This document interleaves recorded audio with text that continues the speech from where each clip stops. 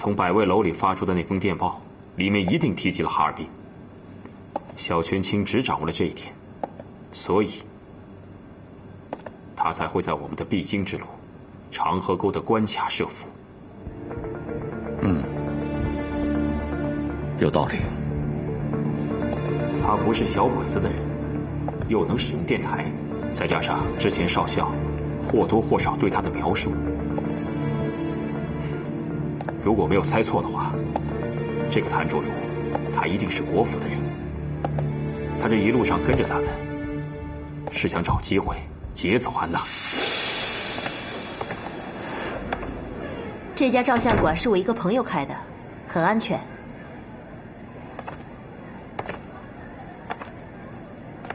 他人呢？一会儿就来了。胶卷带了吗？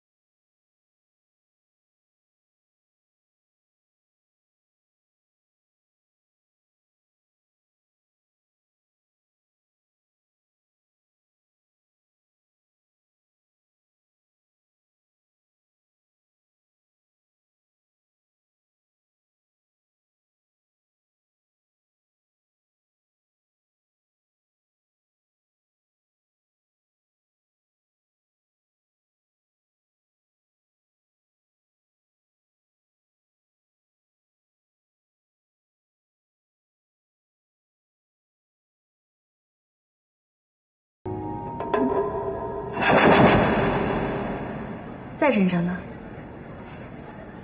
坐下休息一会儿，等老板来。按照计划，他们现在应该已经到接头地点了。辉子，非常感谢，这次你立了大功。应该的，应该的。大总，鬼子，收到线索了吗？没有搜到钢丝，我们的人正在继续搜索。我就不信他们能带着潘大海凭空消失。您是说潘大海吗？对，我知道他在哪儿。哎，快说快说！不过您看，要多少？一千大洋。啥？成交。能用钱解决的问题。都不是大问题，这个主我替刘处长做了，怎么样？好，大佐爽快。他们现在在千和剧团，不可能啊！我刚搜过千和剧团，没有发现钢丝他们的身影。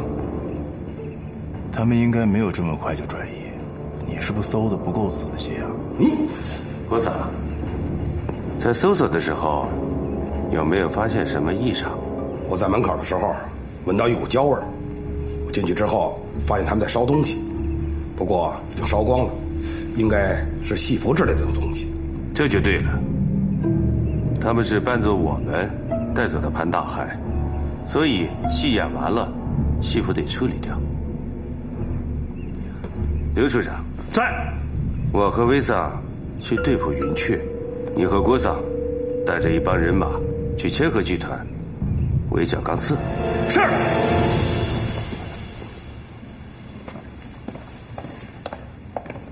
维萨，这次我到佳木斯有很大的收获，很荣幸能帮上您的忙。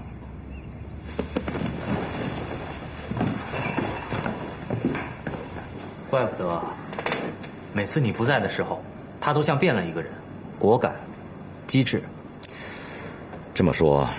那包药肯定是他换的，没错。还有，安娜把胶卷留下了。她明明怀疑谭卓如，那为什么要跟他走呢？这事说起来怪我，哥，这事跟你有什么关系啊？潘大海是死于氰化钾中毒，安娜身上根本不可能有这种东西。刚才是我说的话太重了，让他伤了心。谭卓如见我们之间生了嫌隙，便借机怂恿他离开。安娜肯跟他走，是想用事实向我证明这件事情是谭卓如干的。哎呀，不知都什么节骨眼上了，还用事实证明？那直接跟你讲清楚不就行了吗？要是什么事儿都能用嘴说清楚，那当年陆家屯的兄弟姐妹们也不至于怨恨我那么久。现在全城都被封锁了，他们肯定出不去。谭卓如敢在这个时候带走安娜，他一定是有什么门道，或许还有人接应。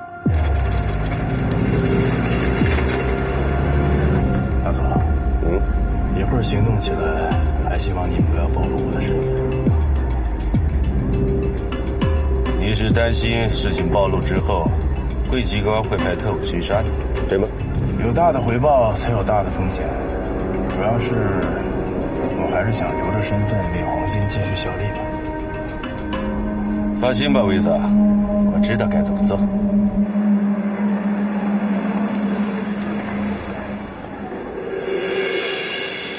前面那个照相馆就是我们昨天约定的地方。那好吧，维萨，那我们。按计划行事，明白。没想到，在佳木斯也有你的朋友啊！你没想到的多了去了。是啊。现在是不是可以告诉我，你的真实身份？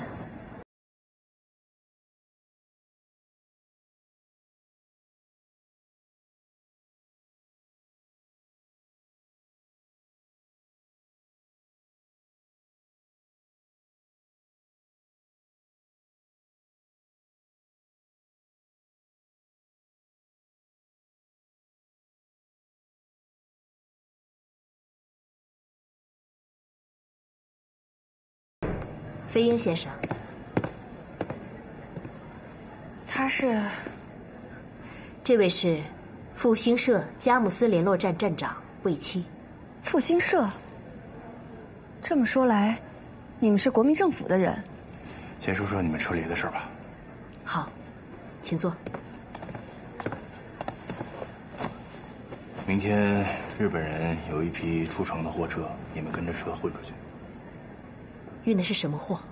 都是他们从各地搜刮来的不义之财，所以他们心里很清楚，这批货见不得光。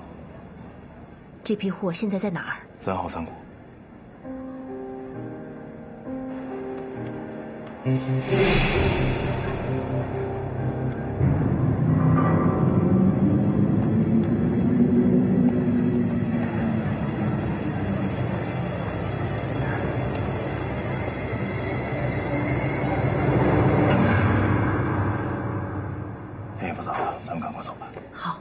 我不走，我走了，文龙哥他们怎么办？还犯傻呢？这一路下来，文龙早就已经在关东军那儿挂上号了，你跟着他只会更危险。安娜小姐，你放心，我肯定安全把你送到哈尔滨。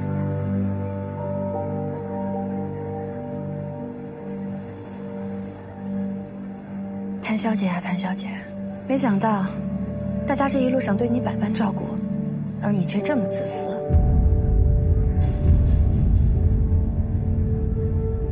背信弃义，不过是各为其主罢了。我的任务就是要保护你的安全。行了，收起你的好意吧。对于我而言，最安全的地方就是文龙哥身边。那既然这样，只有得罪了。